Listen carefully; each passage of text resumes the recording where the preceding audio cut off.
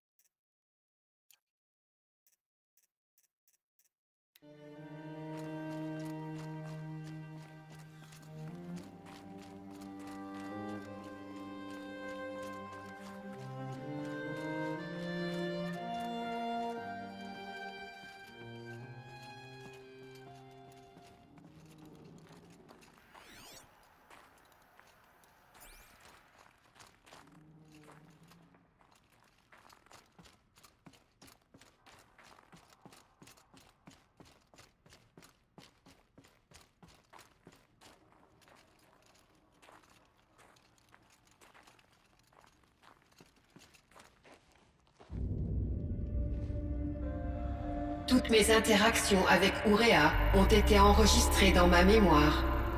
Je me ferai un plaisir de vous les lire, mais il y en a une en particulier que j'aimerais vous montrer en premier. Je l'ai enregistrée il y a quatre ans, juste après lui avoir déclaré que je ne pouvais plus me défendre contre les attaques du Daemon.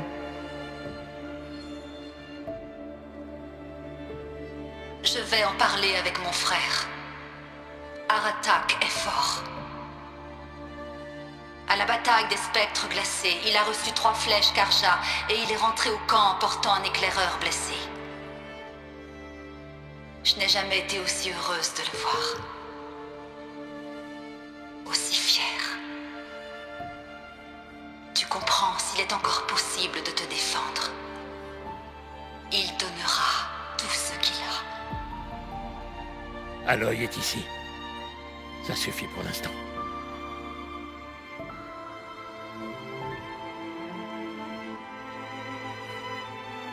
Nous pourrons reprendre à tout moment Aratak, si vous souhaitez entendre sa voix.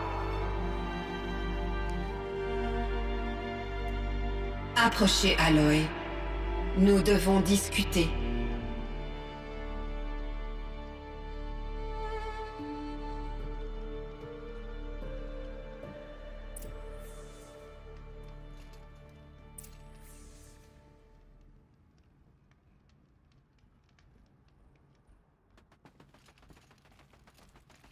Bonjour Aloy. J'ai analysé les événements du complexe principal de l'embrasement. Grâce à vos efforts, et à ceux d'Ourea bien sûr, je ne suis plus sous l'emprise des Phaistos. La mort d'Ourea me fait ressentir un profond chagrin. Je pensais connaître cette émotion, mais elle est différente cette fois. Si, Ange. Je ne sais pas quoi dire. Je ne pense pas qu'il vous soit possible de me consoler adéquatement, Aloy. Mais je trouve votre présence rassurante. Vous êtes différente des Banouks. Vous comprenez la technologie et possédez un focus en état de marche. Nous pouvons communiquer à un niveau bien plus avancé. Peut-être même comme des collègues.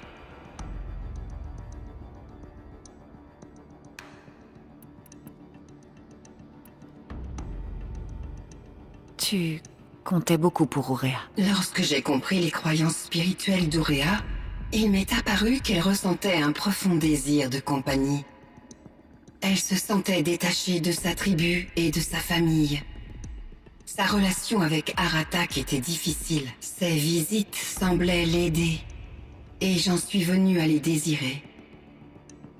Mais je n'avais pas compris que la compassion d'Ourea était telle qu'elle serait prête à se sacrifier pour moi. Bien que je craigne la non-existence, j'aurais aimé que nos rôles soient inversés. Elle savait que tu en aurais fait de même pour elle, Sian. Mais elle était résolue.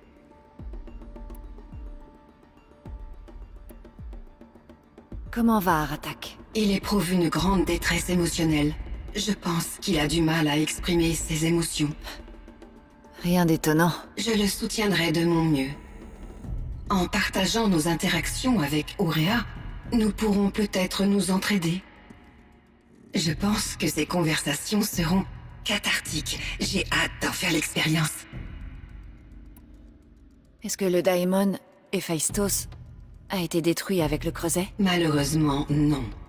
Plus précisément, il ne se trouvait pas là-bas. Comment ça? Il a infiltré mes systèmes et en a pris le contrôle depuis un autre lieu que je n'ai pas pu localiser. Bien que la perte du creuset ait freiné ses plans, Il vit toujours. Et il a sûrement une dent contre nous. sans aucun doute, Comment es-tu entré en contact avec lui? Il y a cinq ans, j'ai reçu une demande de connexion directe. Je pensais qu'elle provenait de survivants humains plus avancés que les Banouks. Dans mon empressement, j'ai accepté sans réfléchir. Cette décision s'est révélée catastrophique. Je me suis retrouvé inondé d'un déferlement de codes malveillants, émis par ce qui pouvait être qu'une IA extrêmement avancée. Tu paniquais d'après Ourea. Tu implorais son aide. Oui. Mon angoisse était accablante. Héphaïstos voulait m'asservir à son réseau et prendre le contrôle de ma programmation. Il y est parvenu à l'aide d'une tâche de fond, un logiciel malveillant qui a contourné mes défenses.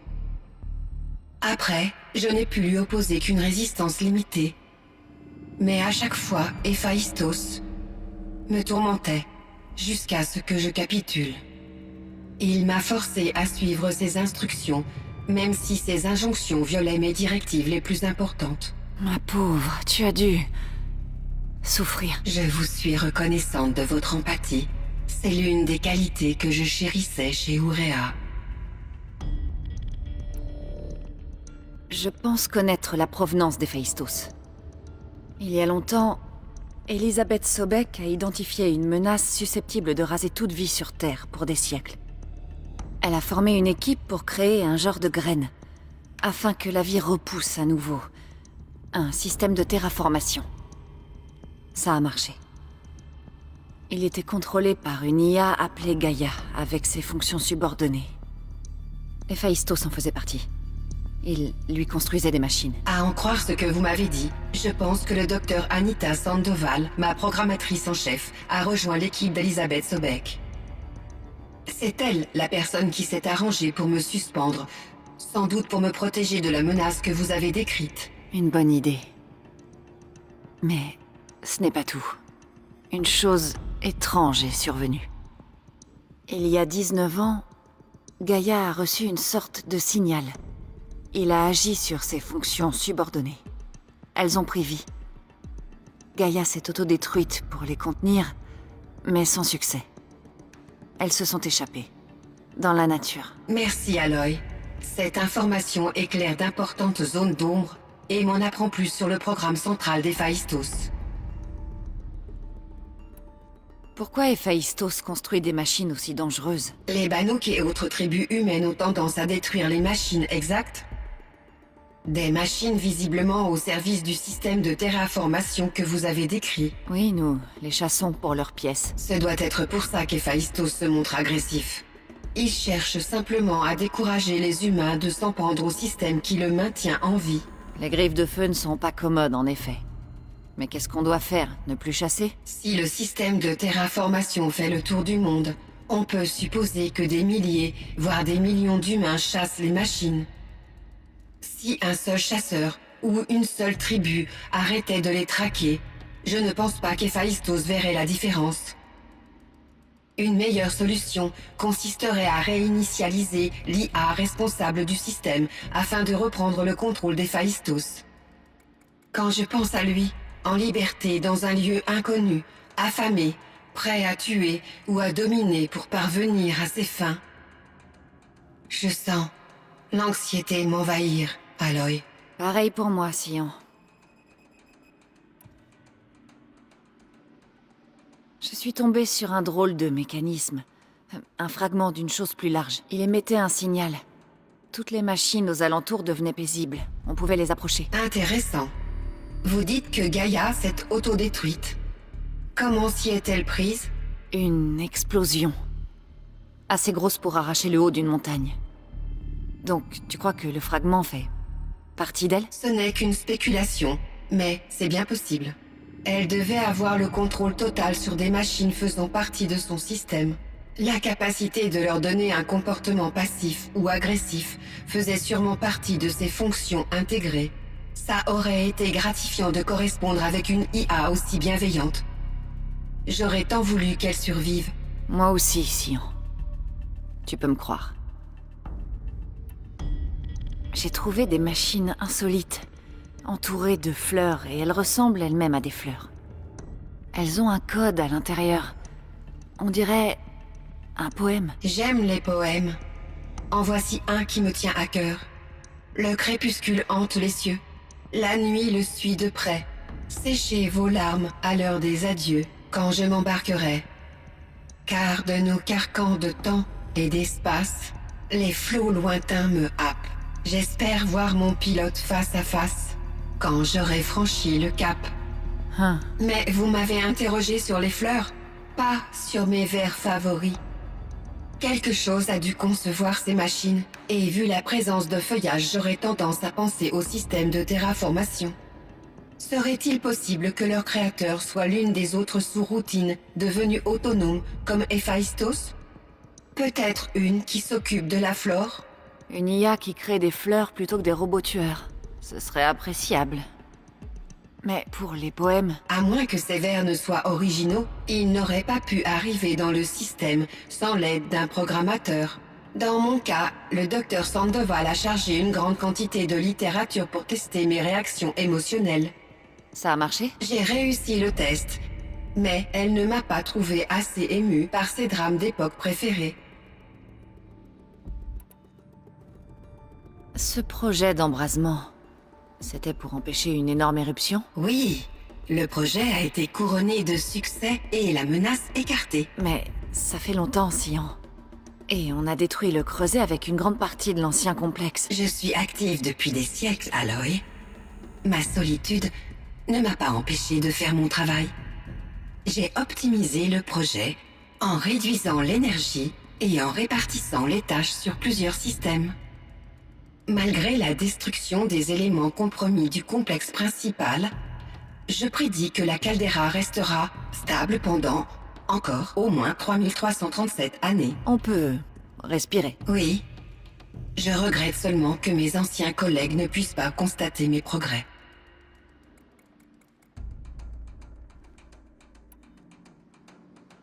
Tu sais ce qui est arrivé à tes collègues, Sian Non.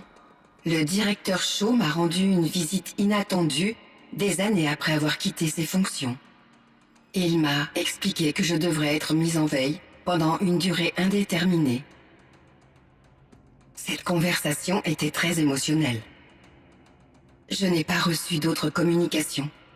J'ai fini par déduire que mes collègues étaient tous décédés. Je vais transmettre les données de ma dernière interaction avec le directeur à votre focus.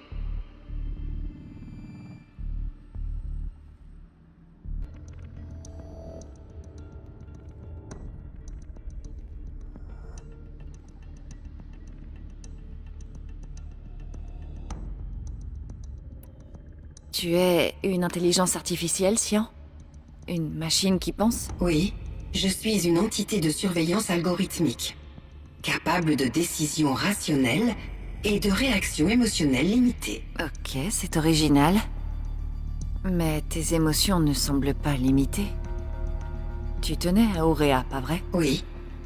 Avant qu'elle ne vienne dans ce complexe, j'ai passé des siècles dans la solitude la plus totale. Entre deux cycles de travail, j'utilisais des stratégies d'adaptation.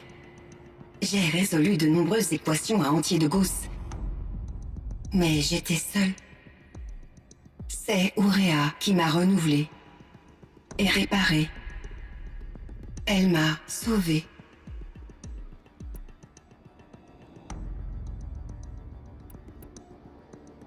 Parle-moi de l'ancien monde. Comment il était? Mes connaissances du monde extérieur sont limitées, Aloy. Elles proviennent de mes collègues ou de ce que j'ai pu observer dans les médias. T'en sais toujours plus que moi, Sian. C'est vrai. J'ai été créé à un tournant, dans un effort conjoint pour se remettre d'un bouleversement mondial et de pertes humaines incalculables. Cet effort a porté ses fruits, engendrant une ère de potentiel censément illimitée pour le progrès des humains et des machines. Bien que les aptitudes humaines ne soient pas illimitées d'un point de vue rationnel. Qu'est-ce qui a bien pu entraîner autant de pertes humaines? Il y avait de nombreux facteurs. Migration forcée, pénurie alimentaire, récession, crise de réfugiés, conflit pour les ressources. Mais tout avait la même source. Un dérèglement catastrophique du climat qui avait grandement réduit la surface habitable de la Terre. Donc, il n'y avait plus de place pour tout le monde sur la Terre entière? Non. Des milliards d'humains ont été délogés et des millions sont morts, près de 20% de la population mondiale. Jusqu'à la récupération. Ça s'est arrangé. Un moment, au moins. Oui.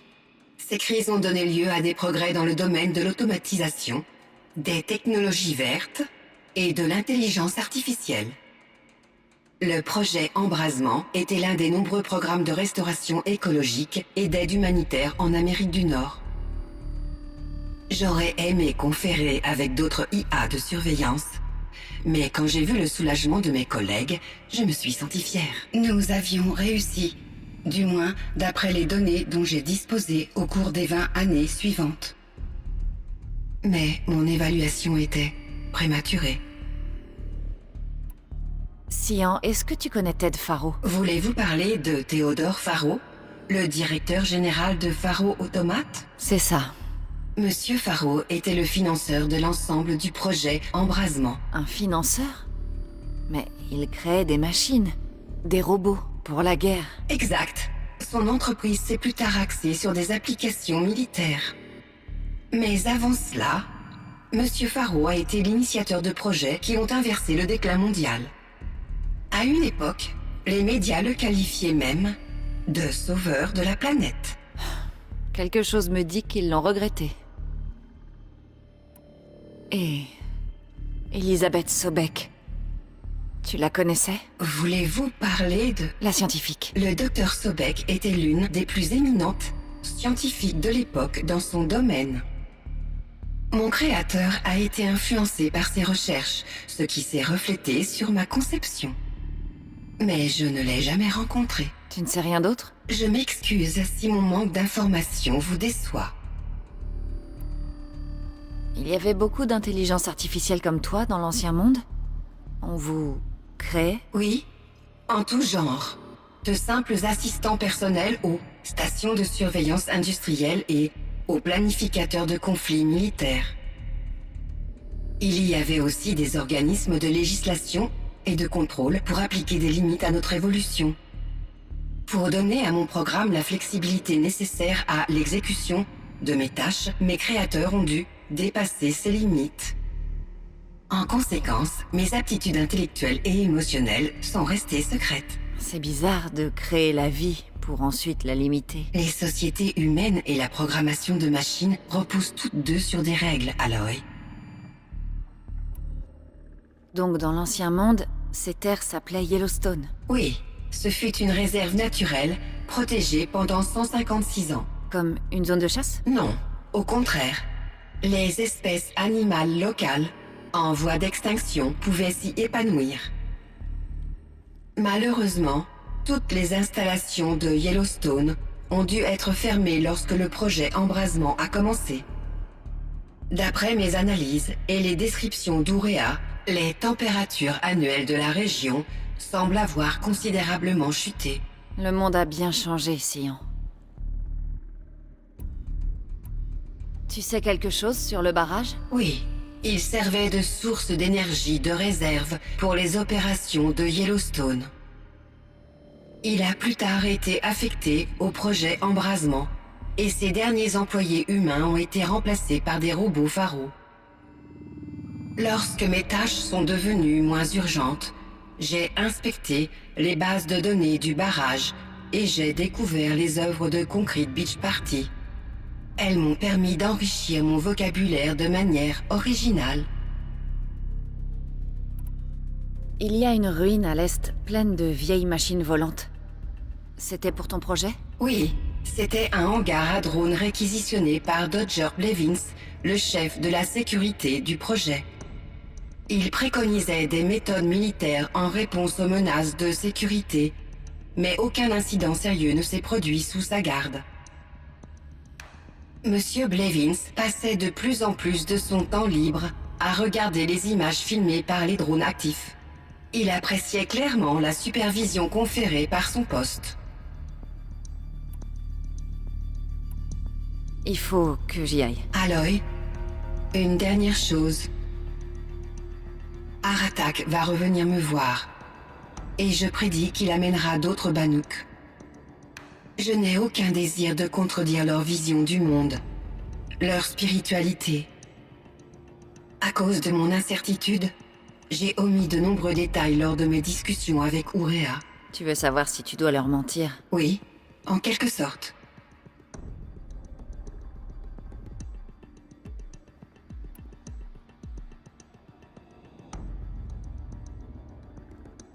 Je te fais confiance, Sion.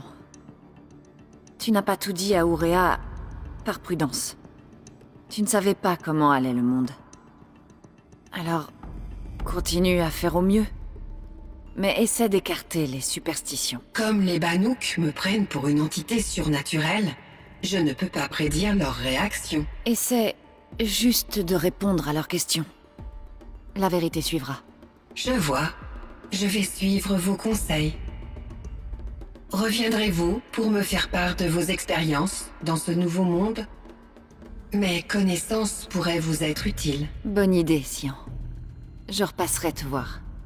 Je devrais aller voir comment Aratak se porte. Sion, j'ai parlé à Anita, au docteur Sandoval. Elle veut... Elle veut que je te demande de faire quelque chose. C'est pour ça que je suis là. Je détecte une anxiété intense dans votre schéma de langage. Pourriez-vous me fournir plus d'informations? Je ne sais pas grand-chose, Sion. Toi non plus, je pense. Je n'ai qu'une vague idée de ce qui se passe, et... Tu vas devoir hiberner, te cacher jusqu'à ce que tout soit terminé. Et ça, ça pourrait être très long. Là quand je redémarrerai, Docteur Shaw. Et le Docteur Sandoval Non, Sion, désolé. Je ne crois pas. Il n'y aura peut-être personne, du moins au début. Docteur Shaw, j'ai peur. Je ne veux pas être seul. Je sais, Sion. J'ai peur aussi. Mais écoute, on t'a créé comme tu es pour que tu fasses quelque chose d'important. Pour le faire, tu devais être intelligente, tellement intelligente que les réactions émotionnelles étaient inévitables. Ce que tu ressens, la peur, c'est le signe de tes capacités. Ça signifie que tu es assez forte pour la surmonter. Ne l'oublie pas. Tu es forte. Je sais que tu peux le faire. Va dormir. Réveille-toi et protège ce qu'il restera. Tu veux bien? Je comprends, Docteur Shaw. Je ferai tout mon possible pour bien suivre vos instructions. Merci, Sion. Si Anita était là, elle te remercierait aussi. Elle serait fière. Je détecte un HADAF prêt au décollage sur la plateforme. Vous partez maintenant, Docteur Shaw? Oui. Je dois rejoindre ma sœur et, et mes nièces. Puis-je vous demander un petit service, Docteur Shaw? Oui, bien sûr.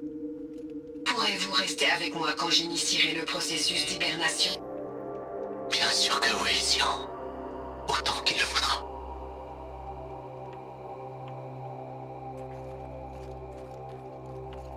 Pense au soleil d'été, à la brise dans les arbres.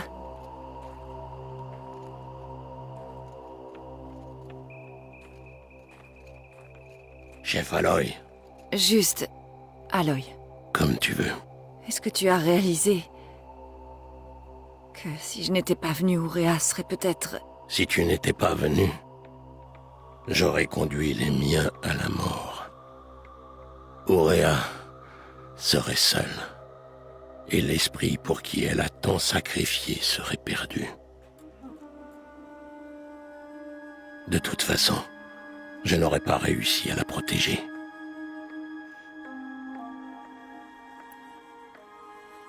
Tu ne lui as pas fait défaut. Tu l'as aidé à faire ce qu'elle voulait. À trouver son destin. Si c'est ça le destin, je ne le souhaite à personne. Je comprends. Mais elle était prête à l'affronter. Ce n'est que dans la lutte contre la mort que l'on voit pour un instant l'étincelle de la vie. C'est vrai, Ourea a trouvé l'étincelle. Je suis fier d'elle. Bien que je pleure sa mort, maintenant je comprends qui elle était vraiment et pourquoi l'esprit comptait autant. Elle me disait depuis longtemps, si tu l'avais entendu, mon frère, enfin je comprends. Il y a autre chose, je me trompe? Je ne peux pas rester à Ratak. Et pour ce voyage, je dois laisser le Vérac. Et puis, il avait déjà un chef avant moi. Un bon chef, je crois. Et plus sage après ce chemin. Le Daimon n'est plus, mais il nous reste à faire. Tu parles des nouvelles unités qui se sont échappées du creuset Oui, les griffes de feu. Naltuk les traque depuis la cime du champ. Je pourrais l'aider. Je n'en doute pas. Tu es presque Banouk.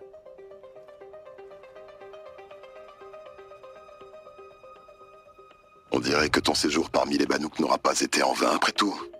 Embrasement, Sian et Phaistos. Tout ça est très... intéressant. Donc le signal qui a réveillé Hadès a également réveillé Héphaïstos. Il les a lâchés dans le monde, dotés d'une volonté propre. Il semblerait. Des pièces de Gaïa, une vie offerte. Une vie absurde. Des fonctions subordonnées dociles qui se transforment en intelligence rebelle dépassant notre compréhension. Notre compréhension actuelle en tout cas. Quoi qu'il en soit, ils sont toujours dans la nature. Et ils veulent ta mort. Il faut dire que c'est mutuel. On n'en a pas fini avec Héphaïstos, j'en mettrai ma main au feu. Il est puissant, imaginatif et motivé. Il n'arrête pas de construire de nouveaux chasseurs-tueurs, ce qui signifie qu'un jour, on devra peut-être l'arrêter. Hum Celui ou celle qui voudra, sinon. Il n'y a pas que sur Héphaïstos que j'ai appris des choses dans la plaie, Silence. J'ai aussi entendu parler du conclave des Banouks. Inutile d'aller plus loin. C'est ce que tu as dit aux chasseurs que les Banouks ont envoyé à ta poursuite Avant que tu n'ouvres le feu? Oh non, Aloy. Il n'y a que toi que je prends la peine de prévenir. Mon passé et mes secrets m'appartiennent.